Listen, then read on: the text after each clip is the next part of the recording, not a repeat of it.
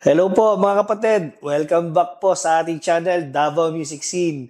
At pagkatapos pong napanood natin ng performance ng bandang Bad Spade, ay binigyan po nila tayo ng pagkakataon na makausap po ang buong grupo para po makapagtanong ng mga bagay-bagay tungkol po sa kanila. Pero bago po natin panoorin yan, shoutout po muna tayo. May nagpapa-shoutout po si Mr. Andrew Gabriana, boss ko po to sa BPO dati. Hi, Boss Drew! Kamusta po kayo? Thank you so much po sa pag-support. Nung kami nasa BPO, uh, bumuo kami ng grupo. Uh, banda rin, jam-jam kami kasama si Boss Andrew Gabriana. Tinawag po namin yung bandang, bandang TT. Uh, yun po yung mga abbreviations ng mga uh, apelyido po ng mga boss namin doon. So, yun po. So, without further ado, here comes Bud Spade.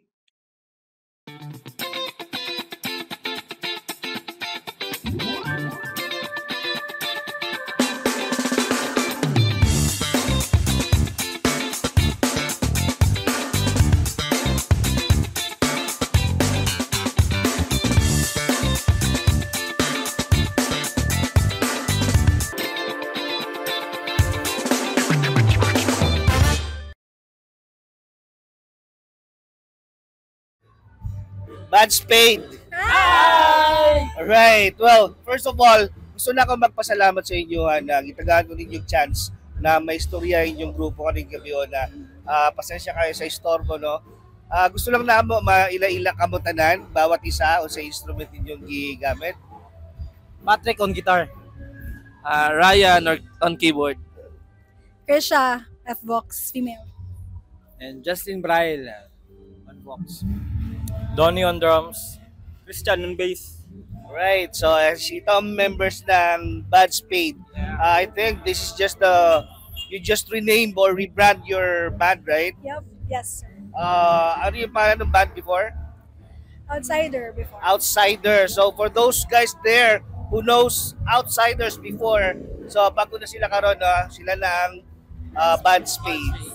So, first question, uh, pwede ba ninyo i-share yung sa ninyo pagsugod ng uh, grupo, yung sa ninyo pag-form?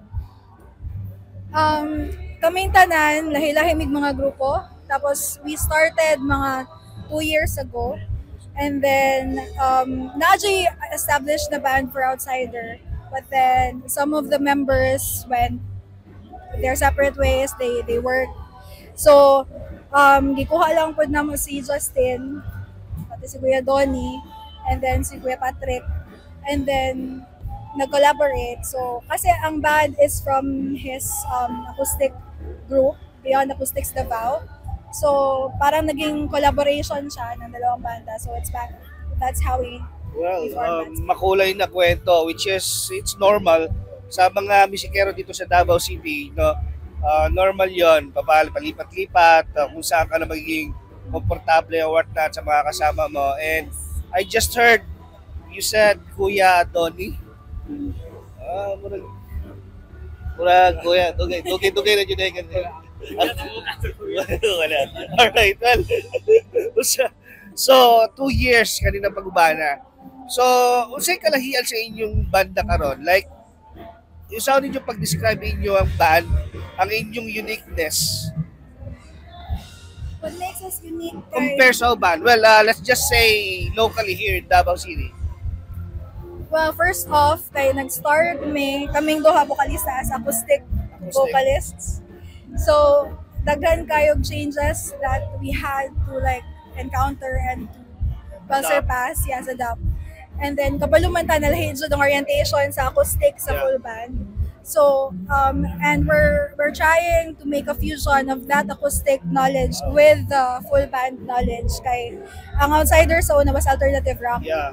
So karon we wanted to be more versatile and be more diverse with the music that we portray. Not just for us, but also for the audiences. Of course.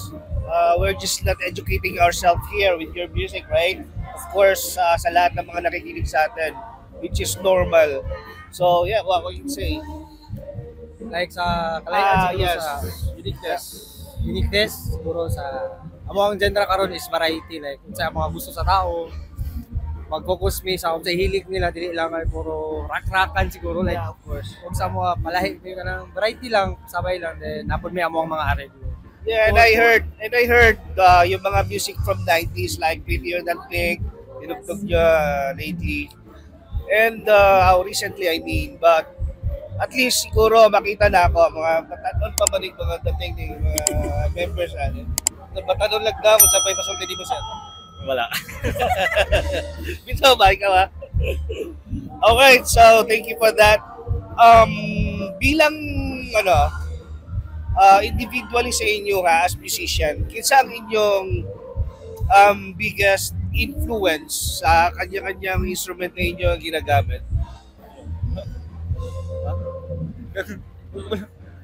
influence din mo sa ibang pag-ibang musikero din mo, kasi mo na yung influence. Baista ka, right? yes Sa ibang oh, dagkan man wala di na ako magkualan tan Let's just let's just say local lang, here lang, Davao City. lang yapon Ang influence ni mo. Ang influence ni mo ba? Ah, kisabay mo mga na-mentor dia or what? Akong igagaw Jupin Isa man eh. igagaw lang ko na Si si Jupin limpot may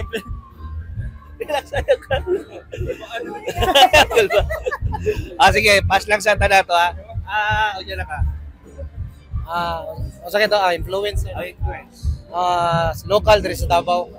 Ah, first bago ko nakakuan, naka-interog kining banda, Rock in Zebra. Rock and Zebra sila Bobby. No, sila Bobby. Ah, ano ko sa sauna na fly over. So ganahan kay ko so engganyo ko nindot gyud din, nindot na Yeah. maging mga musikero. Yes, of course. Well, watch out for that because um, Davao music scene is planning to uh, have a conversation with uh, Bobby Rabia. So, we look into it. Ah, akong akong may istorya na ako nga keyboard hero na ko si Quad.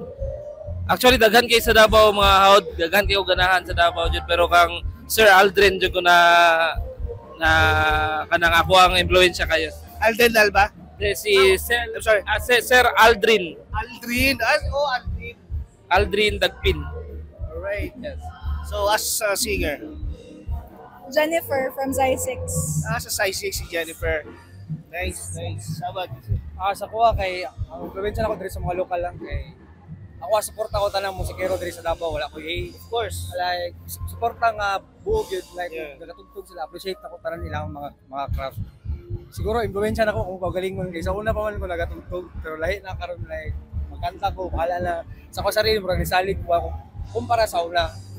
Like ako ang music is ako tabang sa ko ang self like diha lang pud ko ma-proud. Ako sa stage ala So, ako ang self like yun murag ala it's your way of expressing ako- yourself. yes kaya appreciate ako tanang mga musikero diri sa Davao Nice. Thank you for that. Hi, Don.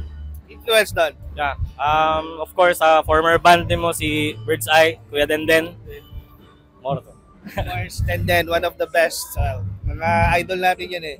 So, yes, thank you so much. Then, I just want to know, kanila grupo ha, uh, although bago pa lang, nana po mo yung experience na kanang challenge, yun sa ninyo pag-overcome ka nga challenge? So far, so far, marag wala ko may marag bugat kay nagabanding pa mi sa akong grupo like Alright.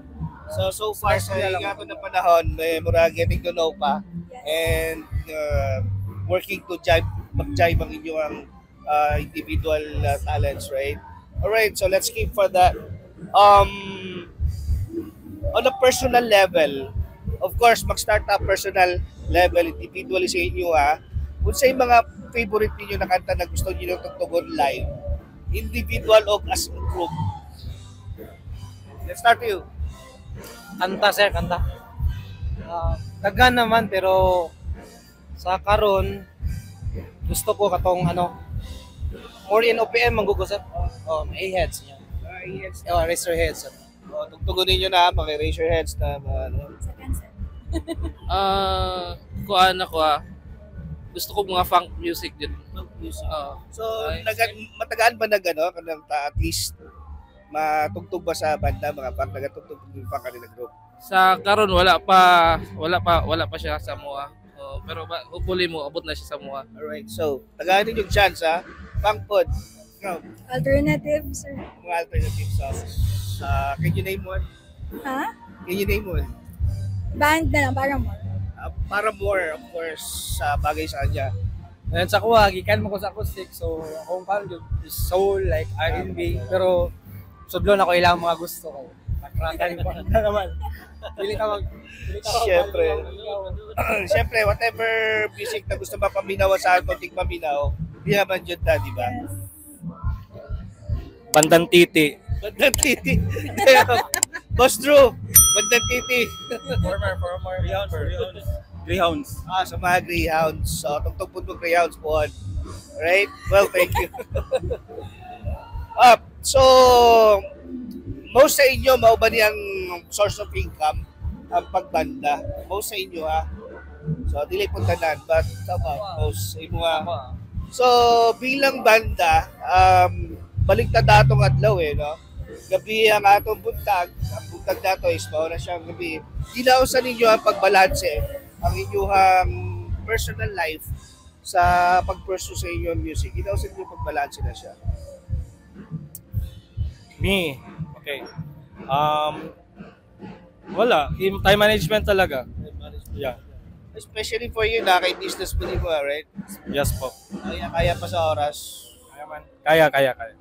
Para na po siya, time na po. Um, ah, time management nga. Time management. Ako ha, kay full time, struggle? full time man ko musikero. uh, Like, nag-focus ko sa music, kaya siguro kung magtrabaho ko kay mabiyaan. Ibiyaan. So, Mabiyaan. okay lang. Okay lang, Ah, laban lang. Gabi, buntag-buntag gabi, balik na, okay lang, wala yung problema. Um, nag-VA, manggod ko, sir. oh, So, um, but music is personal. So, sa Hyjon kayo, magsabay siya. Magdala kog laptop sa gig. Ah, Ano? dinadala ni Mimo trabaho din siya. Yes po. Alright, non-voice lang man kaya. Non-voice. Oh, Okay, good thing. At least non-voice. Ma, ano, masigit-sigit yung di mo. Unlike mag-call ka o kung hindi na nakaya. Pati nga na na yung customer.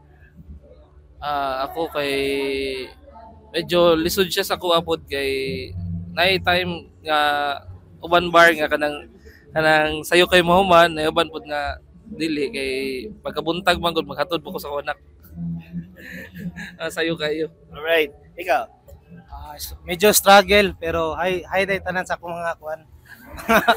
Kauban, telco adlaw ko adlaw adlaw telco ko. Ah, sa telco. Mataod mi ka ng mga wifi internet so Saan ang telco ni? Ayaw na lang ito na pang ah sa telco ah, basta internet connection lang oh. Internet connection taod mi install.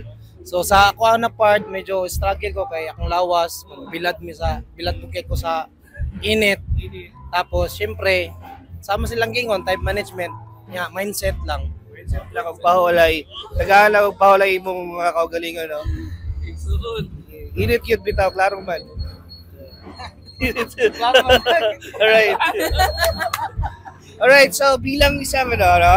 Uh, being as a musician, hindi din siya simple bagay. Kabalutatan na nagtuon ta sa atong mga instruments. Mura na siyang course gihapon, no? Ginasunog na to itong kilay para lang tunan yung butangan niya, hindi din siya basta-basta. Sa mga aspiring musicians na diya sa gawas, like ano mga nagasugod-sugod pa, gusto ko na mag mag-push through sa inyo ang parehas na path na inyong gagihan, mag-music career po. Kung sa'yo maikatambag ninyo sa ilaha, Tumala lang inyong gusto nga ako. Love ninyo inyong ginahin mo. Buhata lang, wala sa mamalipay. Suporta lang may gikan pa sa gamay o sa su- support lang.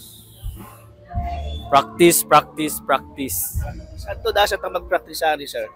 Hantod sa mamaayo na ka. Ah, pag maayo na, di na mag-practice. Ma-practice ka po. Ay, ah, of course, kasi no one confers music eh, no? Dili ta dapat makontento sa ato ang unsay nabot nato kari sa ato level sa ato ang paggamit sa atong instrument. So dapat yun always practice practice lang yan. Ikaw? Uh, Moro po to, practice nga po. Alright. Alright. Alright. I agree. I agree. I agree with that. Ah, uh, sipra.